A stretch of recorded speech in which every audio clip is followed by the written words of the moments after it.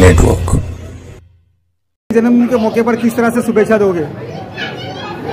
एक युवा नेता है और उसके पिताजी जो जुबेर भाई हैं मेरे अच्छे मित्रों में से हैं और उन्होंने काफ़ी काम मालूमने के लिए किया है। तो मुझे लगता है कि उनको वो अनुकरण करेगा और वो हिसाब से राष्ट्रवादी कांग्रेस पार्टी के लिए एक मालूमनी में एक हमें अच्छा युवा नेतृत्व मिलेगा। ऐसी मैं आज शुभकामनाएँ भी देता हूँ और मैं इसी दृष्टिकोण से सोहेल की तरफ़ देखता हूँ कि सोहेल युवा पीढ़ी के लिए एक अच्छा आदर्श बने सर महानगर पालिका के चुनाव को किस नज़र से देख रहे उत्तर मुंबई में? महानगर पालिका के चुनाव अभी समीकरण बहुत बदली होने वाले हैं। अभी समीकरण की इंतज़ार है कि कौन सा पक्ष हमारे साथ में आघाड़ी करेगा और 11 तारीख को सुप्रीम कोर्ट के फैसले के बाद में निर्णय होगा कि ये शिवसेना में किस तरह का बदलाव आता है और सेना को ये चिन्ह मिलता है या रहता है? ओरिजिनल सेना के साथ हम लोग हैं।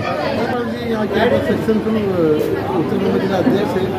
हर वक्त हमारे लिए खड़े थे हमारे बच्चे के लिए। जो भी कार्यक्रम हुआ उसके लिए भी आगे अच्छा काम कर दिया और उनका कहना यह था कि अभी आपकी जो पीढ़ी है कि बच्चे लोग उनको भी आगे बढ़ाओगे, अच्छे काम कर रहे हैं मेरे बच्चे से बात करते हैं उन बच्चे को भी आगे देंगे क्या ये बार की महानगर पालिका के चुनाव को किस तरह से देख रहे हो राष्ट्रवादी? देखिए ये जो सरकार की जो अब हुई है कुमार की सरकार तो गई अभी देखते भी आगे क्या होता है लेकिन उनकी कोशिश है कि राष्ट्रपति की ज़्यादा से ज़्यादा नगर सब चुन के आए। दो साल के बाद इतना बढ़िया तरीके से गेट टुगेदर बर्थडे के माफत बनाया गया क्या कहना चाहोगे? ये तो एक अचानक हुआ करते करते करते धीरे धीरे ज़्यादा ही हो गया।